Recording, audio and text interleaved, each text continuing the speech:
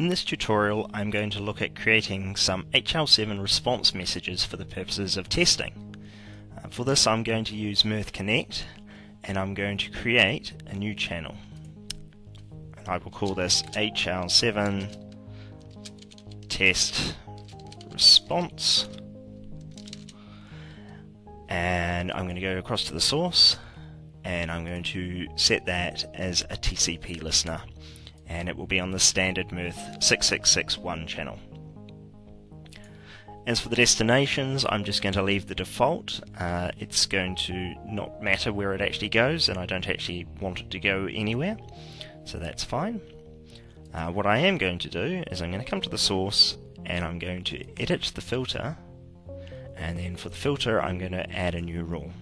And inside here, I'm going to create some JavaScript that will return the response that we want. So I just have to drop down the type. Uh, I have some problems with Mirth that always makes me click that several times before it actually works. Uh, but once I've chosen JavaScript, I can now put in the bit of code that we need in order to make this happen. So first of all, I'm going to make it random. So I'm just going to create a variable uh, and it's going to equal math dot random. And that will return us a number between 0 and 1 so I'm now going to use that to split up into three different outcomes. So I'll just say uh, if d is less than 0.3 and under that scenario we'll do something just going to take that bit of code and copy it down two more times. That's going to be a point six. And finding an else. Okay, so now we've got our three divisions. I'm going to put something in so we can test that out.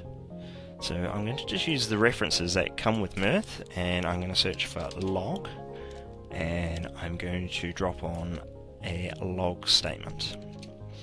And under this scenario, we are going to return a, res uh, not a response. I want to uh, reject it.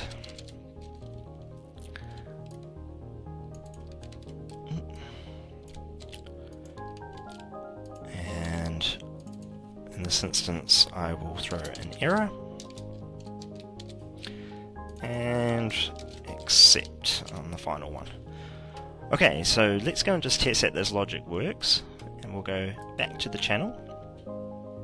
And then I will save the channel and deploy the Mirth script. Okay, so now I'm going to use HL7 soup to test these messages. And so I'm just going to have to configure it to talk to um, Mirth.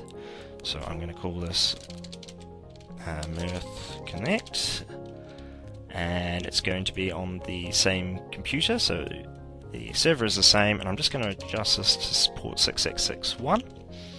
And I'm going to be looking at the AA, AE, and AR messages that are returned from Mirth, so this is exactly how I'd like it. And so now I'm going to send off a few test messages. Okay, now you'll see that all of these come back as message rejected no matter how many times I send it through. Uh, that's because at the moment Mirth is only logging what it happened, what it chooses. And if we look inside of Mirth, we can see that we've got a list of reject, error, and accept messages, so that proves our logic is correct.